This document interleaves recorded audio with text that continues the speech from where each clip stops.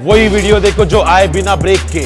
बिना ब्रेक वाला वीडियो बोले सबसे हार्ड अभी डाउनलोड करें तक ऐप देख बिना ब्रेक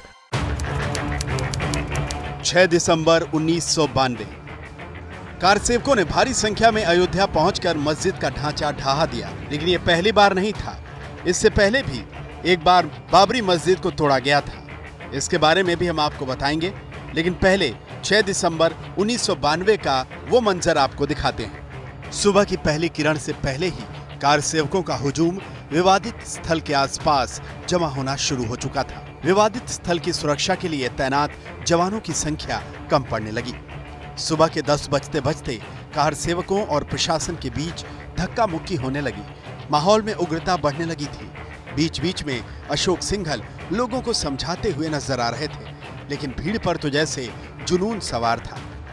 ग्यारह बजते बजते लाल कृष्ण आडवाणी, मुरली मनोहर जोशी, अशोक सिंघल शेषाद्री के सुदर्शन, विनय कटियार, उमा भारती और महंत अवैधनाथ के साथ कई नेता विवादित स्थल के पास पहुँच गए। लाल कृष्ण आडवाणी ने अपनी किताब मेरा देश, मेरा जीवन में लिखा है कि उन्होंने और दूसरे नेताओं ने कार सेवकों को रोकने की बहुत कोशिश की।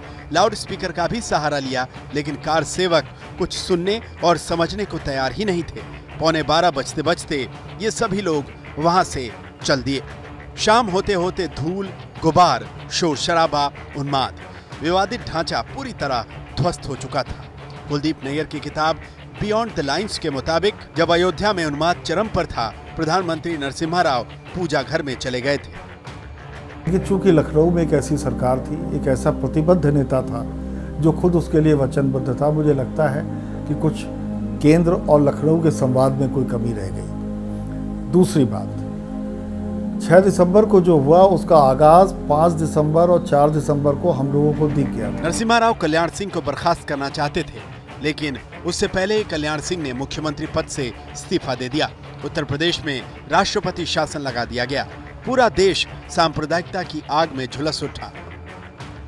मुंबई, सूर, अहमदाबाद, कानपुर, दिल्ली, अयोध्या समेत उत्तर प्रदेश के कई बड़े शहर हिंसा की चपेट में आए।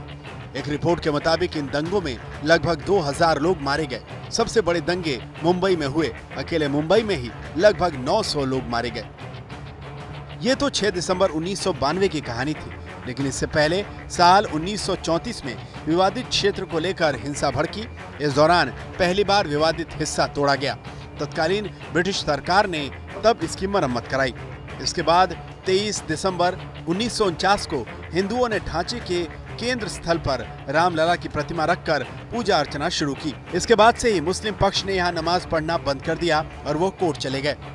साल 1950 में फैजाबाद की अदालत से गोपाल सिंह विशारद ने रामलला की पूजा अर्चना के लिए विशेष अनुमति मांगी थी। इसके बाद दिसंबर उन्नीस सौ उनसठ में निर्मोही अखाड़े ने विवादित स्थल को उसे हस्तांतरित करने और दिसंबर 1961 में उत्तर प्रदेश सुन्नी वक्फ बोर्ड ने बाबरी मस्जिद के मालिकाना हक के लिए मुकदमा दायर कर दिया। इस तरह आज़ाद भारत में राम मंदिर का मुद्दा एक बार फिर बड़ा मुद्दा बनना शुरू हो गया।